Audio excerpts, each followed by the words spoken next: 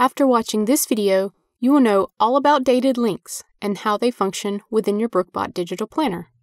Hi, I'm Brooke of brookebot.com. This is the first of three videos in a series outlining the key features and functions of Brookebot digital planners. In the second video, we'll take a look at the differences between the weekly and daily page layout options. In the third video, we'll go over digipapers, staying organized with storage sections, and quickly navigating to your most frequented pages with bookmarks. In this video, we'll cover dated links and how the links work within your planner depending on the type of planner you have. There are three types of Brookebot digital planners the weekly plus daily, the weekly, and the daily. To demonstrate how the links work, we'll be using my favorite planner, which is the weekly Bujo Boba plus daily Bujo Banana, with a Monday through Sunday day sequence. Based on the way you customize your planner, it may look a bit different than this one. By the way, if you'd like to examine links up close and at a slower pace, you can do that on brookebot.com. Each of the different pages we cover in this video has an interactive demo that allows you to highlight all the links with bright colors.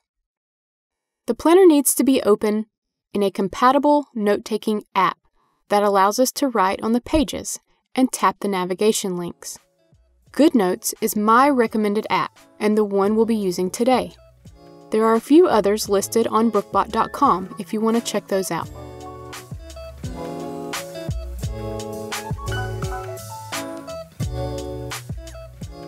A very important component of Brookebot planners is the navigation bar, which sort of binds together the top level pages, kind of like the main menu of any website. The navigation bar is a set of links located at the bottom of every single page of every Brookebot digital planner. We examine the navigation bar in this video and in one other. Be sure to watch the other video to learn all about supplementary pages, including storage sections, bookmark dividers, and all kinds of digipaper. In the first video, we're going to look at links to the yearly calendar and the links to 12 full-page monthly calendars. If you have a July through June planner, which is typically used for the academic year if you are a teacher or student, the first monthly link in the nav bar will lead to the full page July calendar, and the last monthly link in the nav bar will lead to June. The planner that we are using for this demonstration covers January through December of the year 2021. So the first monthly calendar is January and the last is December. This little link in the nav bar made of nine dots leads directly to the yearly calendar. Let's tap it.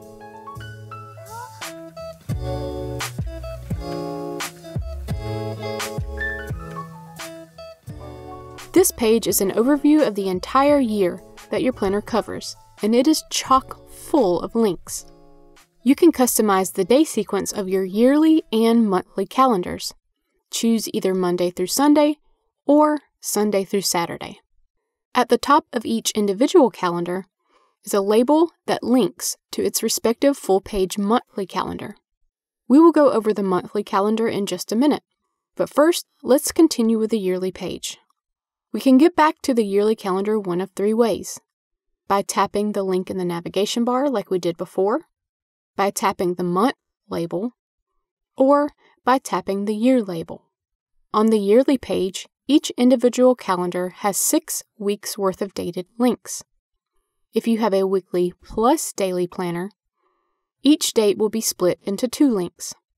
The left side of the date links to the weekly page, and the right side links to the daily page. Let's go ahead and tap on each side now to see these links in action.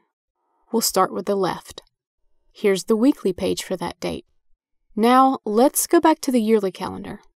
Now let's tap the right side. Here's the daily page for that date. Now let's go back to the yearly calendar once again. If you have the weekly planner, then each of these dated links will lead to the respective weekly page because there won't be any daily pages in your planner. So, whatever portion of the date you tap on, you'll be taken to the weekly page. Likewise, if you have the daily planner, all of these dated links will lead to daily pages because there won't be any weekly pages in your planner. Now let's take a look at one of the monthly calendars.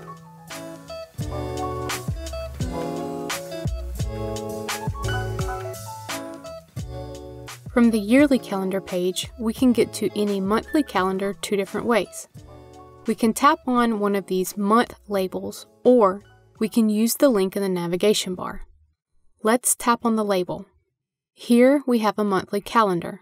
You'll notice in the top left corner that there is a tiny calendar with 10 weeks worth of dated links.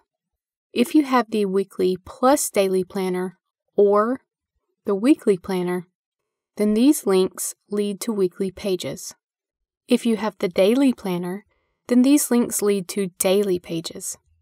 Then, beneath the tiny calendar, we have a sidebar that can be used for making notes, keeping habit trackers, or for whatever you wish. Now let's have a look at the more prominent dates on this page. Here again, just as in the yearly calendar, the links will function differently based on which planner you have. If you have the weekly plus daily planner, these links are split in half. The left side of the date links to the weekly page, and the right side links to the daily page. If you have the weekly planner, the full link will lead you to the weekly page, and if you have the daily planner, then the full link will lead you to the daily page.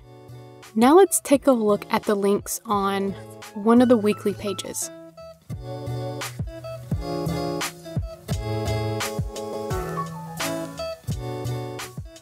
Starting from the top left corner of this weekly page, you'll notice a tiny calendar with nine weeks worth of dated links.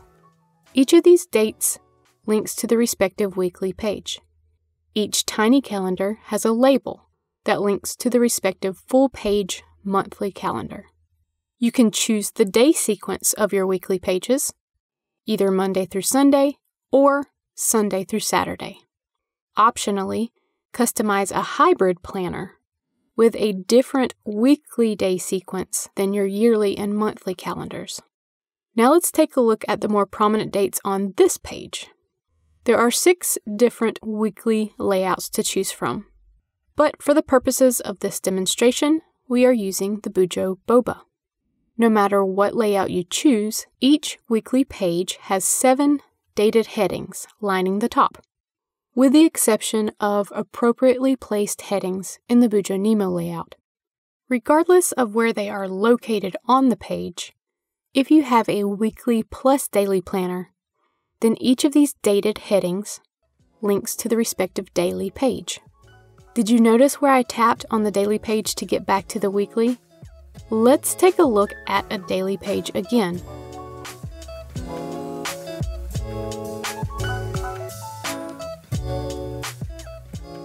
Here we have a daily page. There are four different daily layouts to choose from. But for the purpose of this demonstration, we are using my favorite, the Bujo Banana. Regardless of which layout you choose, the top area of the daily pages are going to function the same. If you have a weekly plus daily planner, the day of the week and the numbered date both link to the weekly page. Both of the month labels link to the full page monthly calendar. The year leads to the yearly calendar.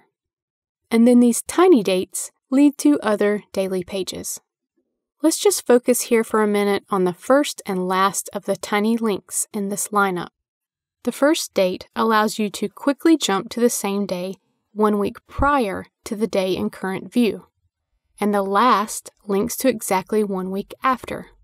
For instance, if you are on a Wednesday page, then the first date in the tiny dated lineup will be the previous Wednesday, and the last date will be the following Wednesday. You could tap through every Wednesday in the entire planner if you wanted.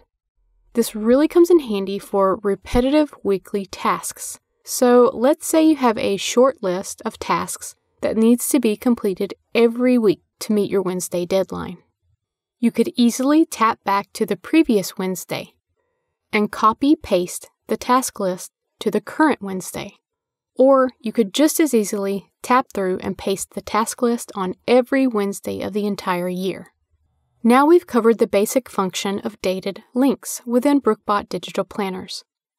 You can visit brookebot.com to see color highlighted links within each page type that we covered in this video.